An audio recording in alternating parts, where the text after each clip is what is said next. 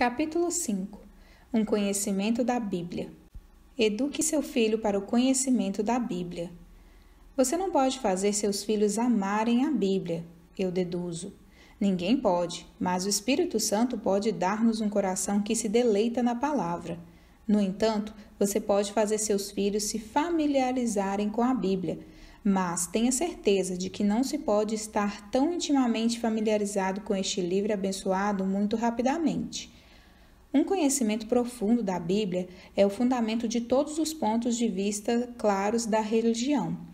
Aquele que está bem fundamentado nela geralmente não será tido como uma pessoa indecisa, levada por aí por todo o vento de novas doutrinas.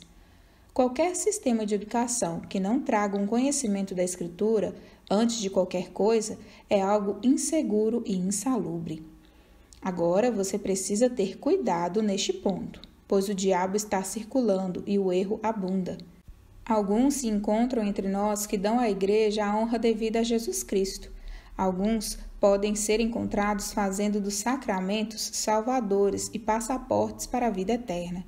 E alguns podem ser encontrados da mesma maneira, dando honra a um catecismo mais do que a Bíblia, ou preenchendo as mentes de seus filhos com infelizes pequenos livros de histórias, e não com a escritura da verdade.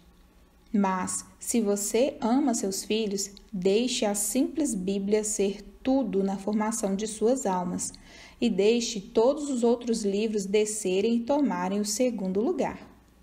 Cuide para que eles não sejam mais poderosos no catecismo do que devem ser nas Escrituras.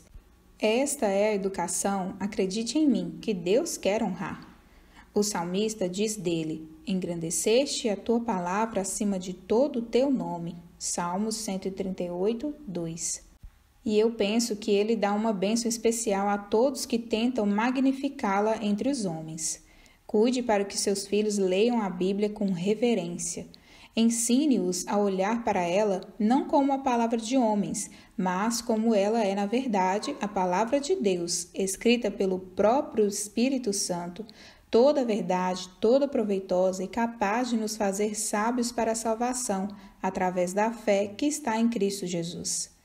Cuide para que eles a leiam regularmente. Ensine-os a considerá-la como alimento diário para sua alma, como algo essencial para sua saúde diária. Eu bem sei que você não pode fazer disso algo mais do que uma prática formal. No entanto, não há como dizer a quantidade de pecado que uma mera formalidade indiretamente pode conter. Cuide para que eles a leiam toda. Você não precisa diminuir qualquer doutrina a fim de trazê-la diante deles. Você não precisa fantasiar como se as principais doutrinas do cristianismo fossem coisas que as crianças não podem entender. As crianças entendem muito mais da Bíblia do que somos capazes de supor. Conte-lhes sobre o pecado, sua culpa, suas consequências, seu poder, sua baixeza. Você descobrirá que eles podem compreender algo disso. Conte-lhes sobre o Senhor Jesus Cristo e sua obra para a nossa salvação, a expiação, a cruz, o sangue, o sacrifício, a intercessão você descobrirá que não há nada fora do alcance deles em tudo isso. Conte-lhes sobre o trabalho do Espírito Santo no coração do homem, como ele muda e renova e santifica e purifica. Em breve você verá que eles podem, de alguma maneira, caminhar juntos com você nisso. Em suma, eu suspeito que nós não temos ideia do quanto uma criança pode reter do comprimento e da largura do glorioso Evangelho eles veem muito mais dessas coisas do que podemos supor. Preencha-lhes a mente com as Escrituras. Deixe que a palavra habite ricamente neles. Deles a Bíblia, a Bíblia toda, ainda que eles sejam jovens.